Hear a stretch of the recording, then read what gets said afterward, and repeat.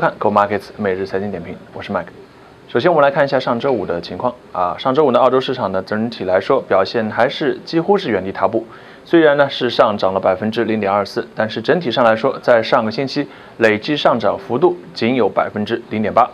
最后中盘中的时候呢，呃，澳洲两百最终是收盘收在了五千七百九十九点。从这个指数上来看，目前也是算是一个较高的位置。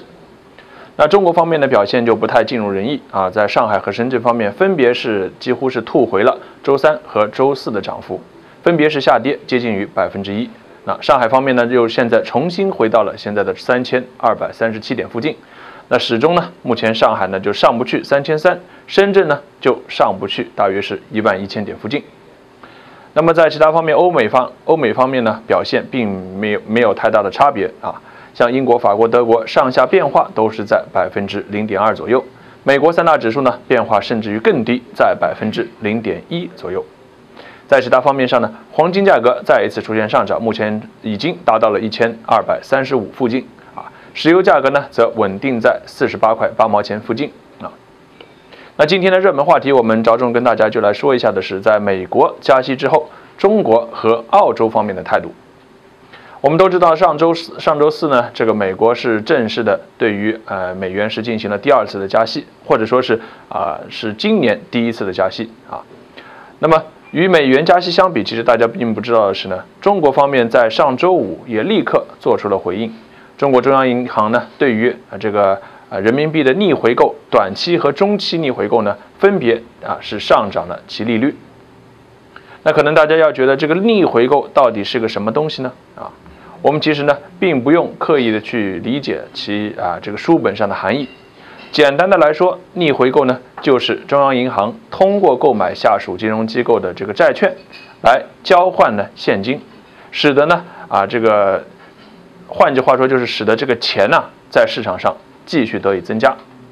其效果呢其实和我们之前所说到的像量化宽松也好像这个印钱放水也好，都是都是呢一样的效果啊，只是呢形式不同，叫法不同。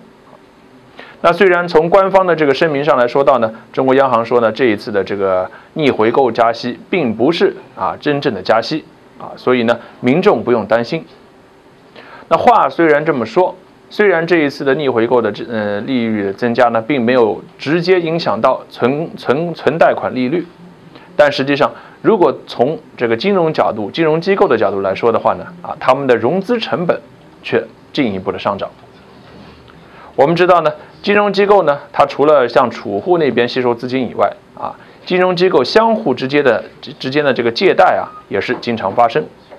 那么自从这个逆回购利率的上涨之后，啊，我们知道上海的人民币同同业啊同行业的隔夜拆息率呢，在上周五也一起上涨了，大约是十个基点左右。那也就意味着呢，如果银行和银行之间相互的拆借人民币的过夜，这个呃持仓的成本呢啊，其实也是在相应的增加。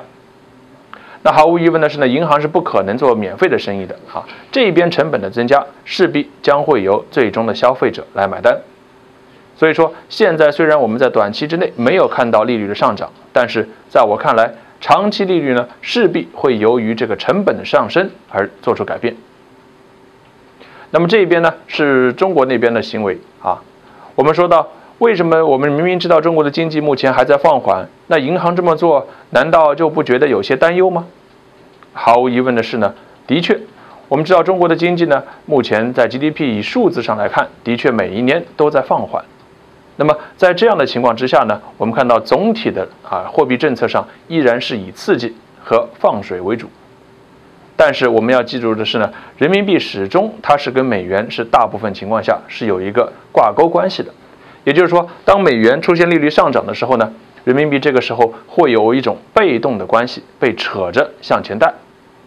那即便是人民币什么都不动，我们假设美元如果今年上涨三次到四次利息，这一年下来，两者的利率之差将会相差百分之零点七五，多的甚至于接近百分之一。那我们通常知道一个概念，就是在一个国家政治和经济稳定的情况之下，那么其货币利率越高，啊，它的吸引力就越大，或者说货币的价值也会越高。那么如果美元和人民币的这个货币的利息差越拉越大，换而言之，美元的人民币美元的吸引力将会进一步增大，而人民币的吸引力将会进一步的衰减。那如此一来，原先制定好的保汇率或者说啊保证人民币汇率不要跌破七这么一个目标，在今年来看的话，就是非常困难。那当然了，从官方的层次来说啊，现在呢这个这一次的增加逆回购利率，除了在利率上的原因之外，还有呢去杠杆的风险呐，或者说呢是这个阻止这个啊金融外流、资产外流等等其他。但是在我看来啊，其本质上的原因还是由于呢这个人民币和美元的挂钩关系，使得呢官方为了保住人民币汇率，不得已也必须和美元实施相似的。货币政策，至少是在某些层面上来看。但虽然现在国内呢依然是每个月新增贷款额非常之高，但是逆回购这边在提升。从另一个角度来说，也是一个啊逐步逐步轻微的在改变目前的货币政策的一个状态。啊，虽然这边在放水，但是那一边可能水龙头正在慢慢的关紧。那么刚才说的是中国方面，我们继续继续来说一下澳洲央行啊。我们知道澳元呢，它一直以来是作为一个高息货币啊。它为什么是一个高息货币呢？我们知道金融市场里面有句话叫做高风险高回报啊。那么同类相比较这个发达国家里面对比这个欧元呐、日元啊、美元这些啊传统意义上的西方货币来说，澳元它虽然是一个发达国家货币，但是它由于啊，其价格走势和铁矿石或者说和资源价格的走势过于密切，导致其短期波动的风险会非常之大。那么自然，你风险大了，为了吸引投资者，你自然就必须提供相对于较高的收益率。那这也是为什么呢？澳元长期以来一直是一个高息货币，它必须使用呢相对较高的利息来抵消它短期波动所带来的风险。啊这就是我们经常说到的啊，这高风险高收益。虽然澳洲也正因为如此呢，澳元也一直和美元、欧元、日元等主要货币呢保持着大约是百分之一点五的汇率差啊。换句话说呢，澳元的存款利率通常来说啊是高于美元、日元、欧元等等主要货币百分之一点五以上。那如今现在美国将在今年加息三次，甚至于加息四次，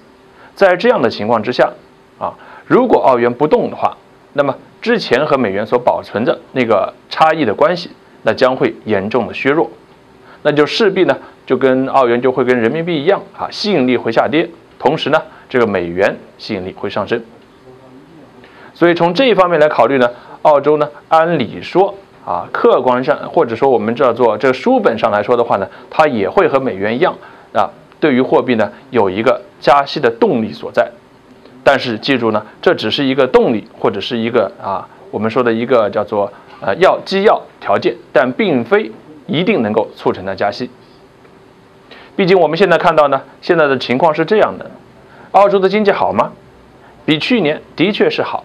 但是很大程度上现在的好是由于目前铁矿石价格暂时上涨所带来的。那我们都知道呢，铁矿石上涨并不意味着澳洲实体经济正在恢复。一旦这个铁矿石价格下跌，很有可能现在一片欣欣向荣的环境呢，再一次会被退回，啊，那也就是说，在未来的不久的将来呢，有可能啊，有可能一旦中国方面铁矿石需求降低，那么澳洲目前暂时好的经济又会回到不好。对于这一点的话呢，澳洲央行当然是了解。同时，从另一个方面，我们看到澳洲的失业率在上个月最新出台的数字来看，也是在变差。所以说，很大程度上来说，在目前的情况下，如果贸然加息，毫无疑问，对于经济来说，负面效应要远远大于正面效果。那如果我不加息，是否能够减减息呢？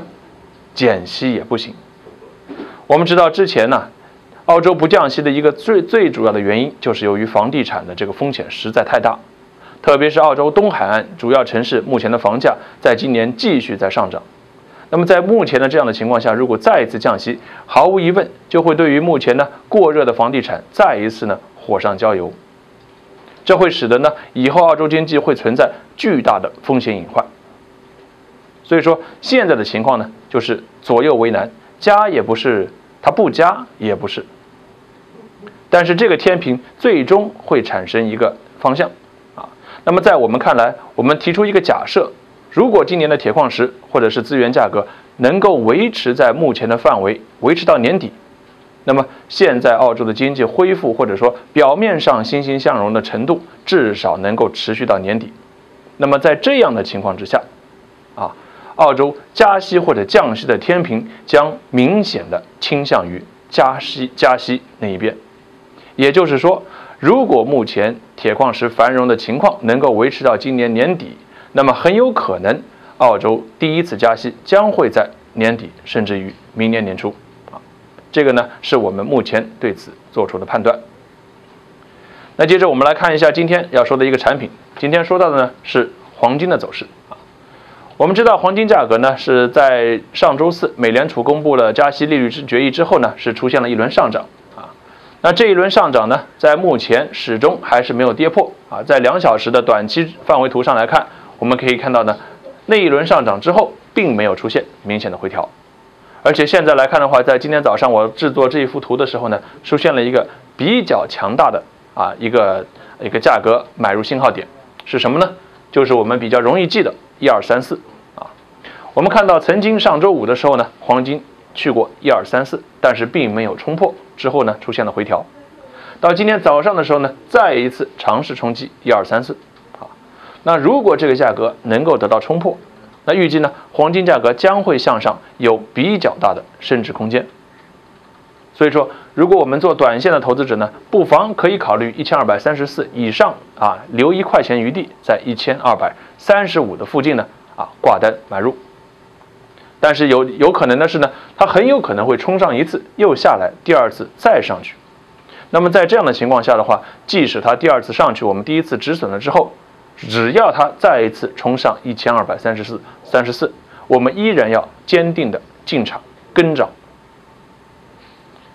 那最后呢，今天并没有这个太多的太大的这个重要新闻，所以晚上的时候呢，呃，没有什么太大的消息会左右这个市场啊。那以上就是今天 Go Markets 每日财经点评，我们明天再见。